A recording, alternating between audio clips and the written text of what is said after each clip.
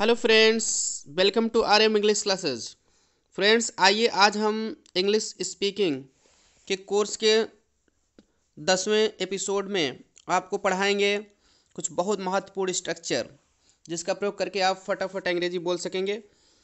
क्योंकि दोस्तों, ऐसे स्ट्रक्चर अगर आपको नहीं पता रहेंगे तो आप जानते हुए भी नहीं बोल पाएँगे। तो चलिए देख लेते हैं, बहुत महत्वपूर्ण स्ट्रक्चर बताना जा रहा है, जिसका प्रयोग स्पीकिंग में बहुत ज़्यादा प्रयोग किया जाता है। तो देखते हैं। दोस्तों, आज का स्ट्रक्चर है gone are the days use भी पढ़ेंगे प्लस स्ट्रक्चर पढ़ेंगे।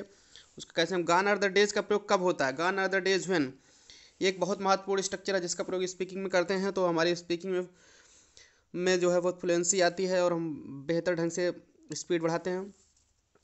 जैसे गान आर द डेज़ वेन इसका प्रयोग कब करेंगे? वे दिन चले गए जब। ऐसे बहुत सारे हम वाक्य बोलते हैं वे दिन चले गए जब मोदी चाय बेचा करते थे। वे दिन चले गए जब मुलायम सिंह यादव उत्तर प्रदेश के मुख्यमंत्री हुआ करते थे।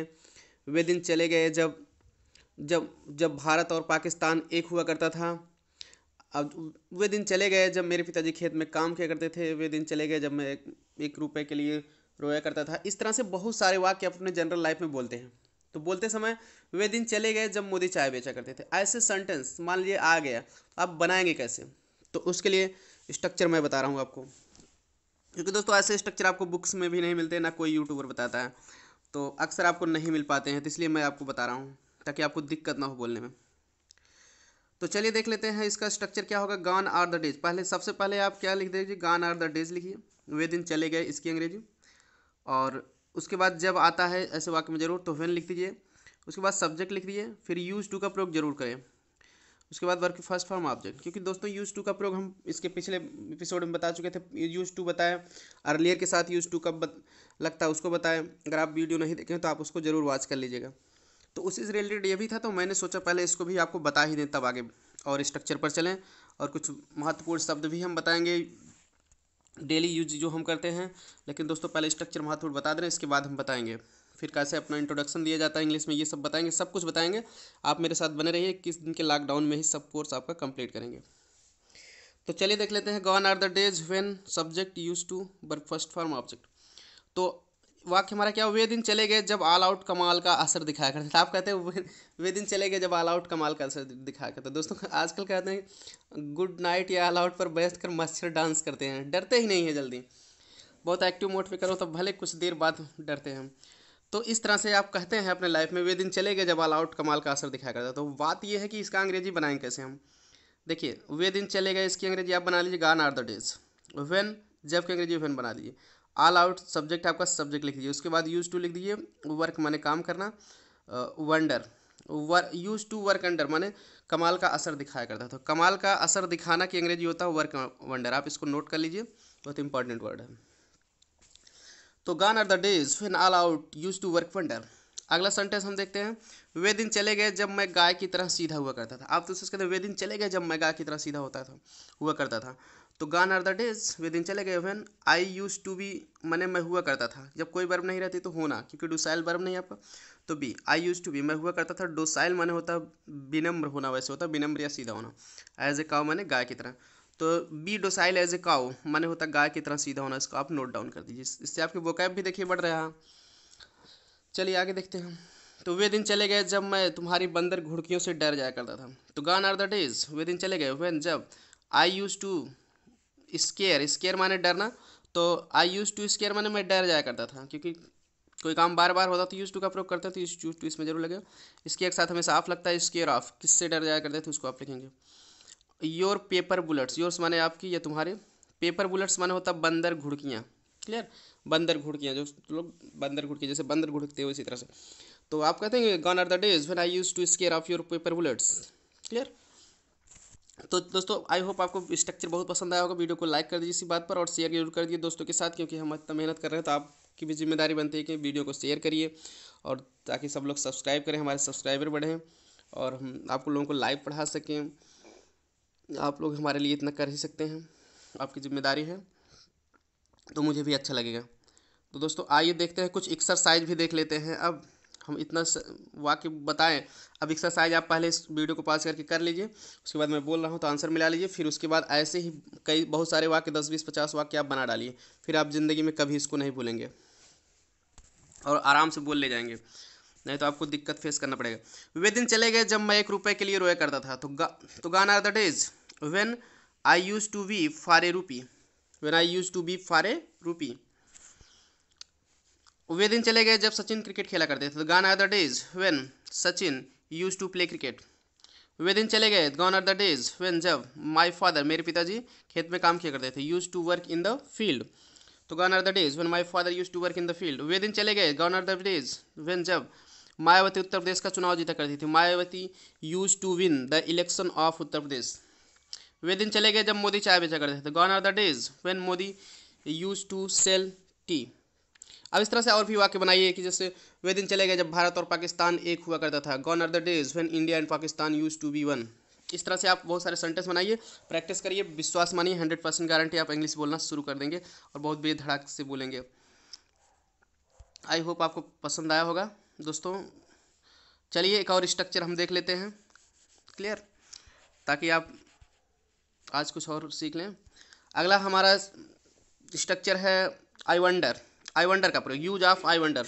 I wonder का प्रयोग हम कब करेंगे? जैसे अब दोस्तों, ऐसे वाक्य बहुत सारे आप लोग बोलते हैं कि न जाने क्यों लोग प्यार किया करते हैं, न जाने क्यों लोग आवारागर्दी करते हैं, न जाने क्यों शराब पीते हैं लोग, या न जाने के स्थान पर आप पता नहीं का भी प्रयोग करते हैं। जैसे आप कहते हैं, पता नहीं क्यों लोग फुल्की बहुत ज़्यादा खाते हैं, पता नहीं क्यों लड़कियाँ गोलगप्पे ज़्यादा खाती हैं, ऐसे वाक्य आप जनरल लाइफ में बोलते हैं, न जाने क्यों लोग शराब पीते हैं, न जाने क्यों लोग इधर उधर घूमते रहते हैं, न जाने क्यों कश्मीर के लोग पत्थरबाजी करते हैं, पत्थर फेंकते हैं, न जाने क्यों आतंकवादी लोग सैनिकों पर प्रहार कर देते हैं, ऐसे बहुत सारे लोग।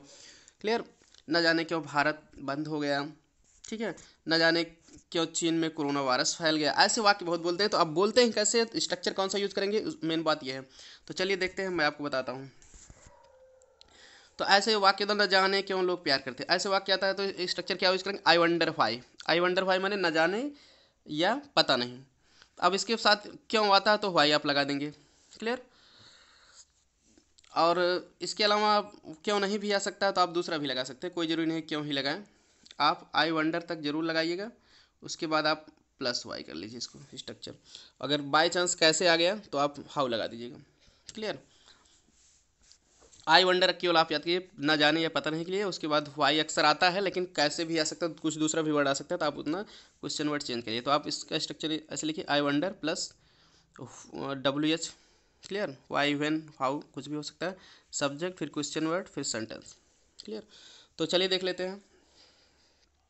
तो इसलिए कि कभी कभी वाई के अलावा हाउ भी आ सकता है क्लियर हाउ के अलावा कुछ भी दूसरा भी स्ट्रक्चर आ सकता है तो आप इसमें ध्यान दीजिए। ज़्यादातर आई वंडर वाई ही आता तो I wonder plus question word plus subject clear फिर क्वेश्चन वर्ड आएगा सेंटेंस आएगा क्लियर तो आई वंडर फिर वाई या हाउ एक आएगा, उसके बाद सब्जेक्ट आएगा, फिर क्वेश्चन वर्ड आएगा। क्वेश्चन वर्ड मतलब कंजक्शन का काम करेगा ये। फिर सेंटेंस लिखी जाएगा सब्जेक्ट पर। तो आई वंडर वाई चलिए देख लेते हैं। आई वंडर वाई या आई वंडर वाई जगह हाउ भी आ सकता है, इतना आप ध्यान दिए। वाई या हाउ क्लियर उसके बाद सब्जेक्ट क्वेश्चन वर्ड सेंटेंस तो देखिए वाक्य देख ले, न जाने क्यों लोग प्यार करते हैं। क्लियर? न जाने क्यों लोग प्यार करते हैं? तो आई वंडर वाई न जाने क्यों आई वंडर वाई मैंने क्यों पीपुल फॉल इन लव लोग प्यार करते हैं। थोड़ा सा इसमें आश्चर्य का सेंस रहता है तो इसलिए वंडर लगा देते हैं। न जाने क्यों मोहन चोरी करता है? न जाने आई वंडर क्यों अंग्रेज़ी why why Mohan steals clear? अगला सेंटेंस है न जाने क्यों लोग शराब पीते हैं? तो आई वंडर वाई न जाने क्यों अंग्रेज़ी हो गया? पीपुल लोग अंग्रेज़ी ड्रिंक माने शराब पीते हैं। तो इस तरह से न जाने क्यों इसमें थोड़ा सा आश्चर्य रहता है। इसको ऐसे प्रश्न मुझे आश्चर्य है कि क्यों लोग शराब पीते हैं। इसको ऐसे भी आप कर सकते हैं, इसलिए आई वंडर वाई का प्रयोग होता है। तो न जाने तुम्हारे कैसे कैसे दोस्त अब देखिए क्यों की जगह कैसे आ गया तो स्ट्रक्चर चेंज हो जाएगा। आई वंडर वाई की जगह हाउ कर दीजिए। केवल इतना आपको ध्यान देना, क्यों वाई की जगह हाउ भी प्रयोग किया जाता है, क्योंकि कैसे आएगा तब। I wonder how all your friends are ना जाने तुम्हारे कैसे कैसे दोस्त हैं। एक से ज़्यादा दोस्त हैं, इसलिए आल योर फ्रेंड्स आर कर। दिए ऐसे भी कैसे न जाए मुझे आश्चर्य है कि तुम्हारे सभी दोस्त कैसे हैं। ऐसे भी कैसे या तुम्हारे कैसे कैसे दोस्त हैं। तो इसलिए I wonder how all your friends are ना जाने तुम्हारे कैसे कैसे दोस्त हैं, इसकी अंग्रेज़ी होगी। I wonder how all your friends are और न जाने तुम्हारे कैसे कैसे रिश्तेदार हैं। ऐसे भी सेंटेंस आपने बना लीजिएगा। I wonder how all your relatives are इस तरह से आप सेंटेंस बनाइए, तब कभी नहीं भूलेंगे। पता नहीं कैसे युवराज ने छह बाल पर छह छक्के मारे। इसकी अंग्रेज़ी मान लीजिए बनाना है तो आप कैसे बनाओगे? आई वंडर हाउ कैसे आया देखिए, क्यों नहीं आया? तो हाउ लगा दिए I wonder how Yuvraj hit sixes hit sixes माने छक्के मारे। छक्का मारने के लिए हिट सिक्स होता है। तो आन सिक्स बाल छः बाल पर। तो हिट सिक्सेज आन सिक्स बाल माने होता है छः बाल पर छः छक्के मारना। क्लियर? तो चलिए अब इसका भी स्ट्रक्चर हम देख लिए। अब कुछ एक्सरसाइज फाइव प्रैक्टिस दिए। प्रैक्टिस कर लीजिए आप। पहले इसको वीडियो पाँच करके सोच लीजिए, फिर उसके बाद मैं अंग्रेज़ी बोल रहा हूँ। मिला लीजिए। फिर उसके बाद दस, बीस, पचास वाक्य बना डालिए। ज़िंदगी भर के लिए याद हो जाएगा।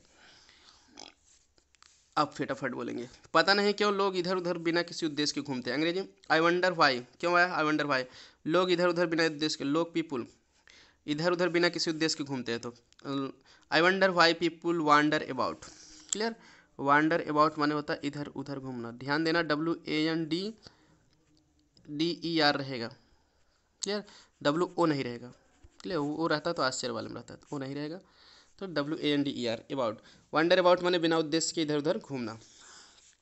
I wonder why people wonder about इसका अंग्रेज़ी होगा न जाने क्यों वह गोलगप्पे बहुत खाती हैं? I wonder why she take कर दीजिए खाने के अंग्रेज़ी take eat slurp clear take रहता है खाने के लिए।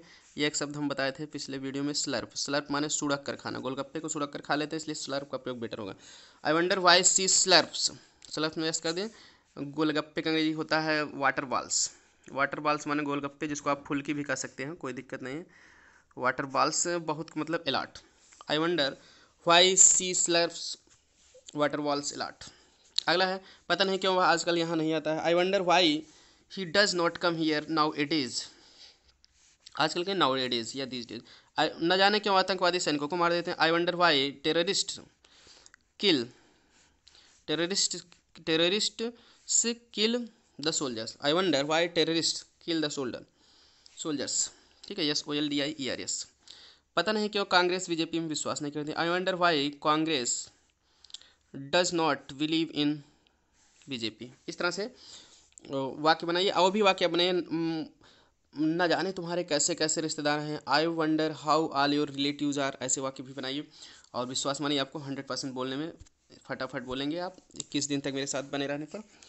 तो thanks for watching keep learning keep supporting video को शेयर करिए, ज़्यादा से ज़्यादा लाइक करिए सब्सक्राइब करिए। फेसबुक व्हाट्सएप इंस्टाग्राम हर जगह शेयर कर दीजिए, ताकि सभी लोग इसका फ़ायदा उठा सकें, अच्छी तैयारी कर सकें। मिलते हैं नेक्स्ट वीडियो में। Thanks for watching keep learning keep supporting